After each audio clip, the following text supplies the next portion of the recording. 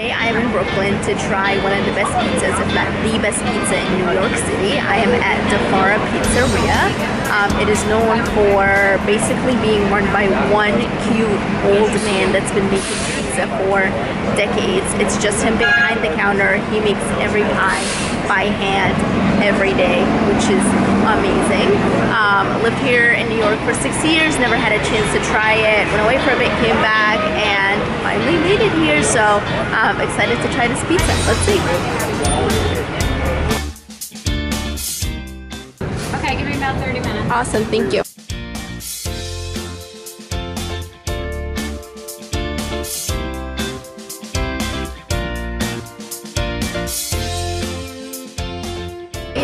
Been about an hour since we ordered. It's about 94 degrees in New York today. Hair is already up and we are still waiting. I ordered two slices.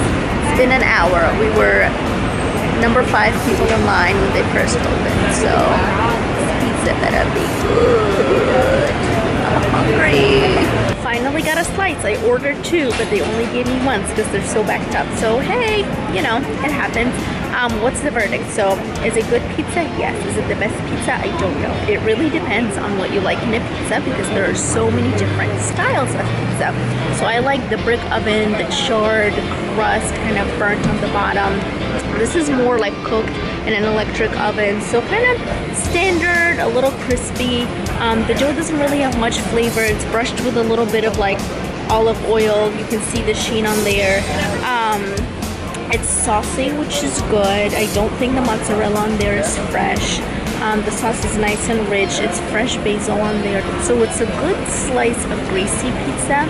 It's not a good slice of, you know, everything tastes fresh, that charred dough that kind of like gives when you bite into it type pizza. So that's it.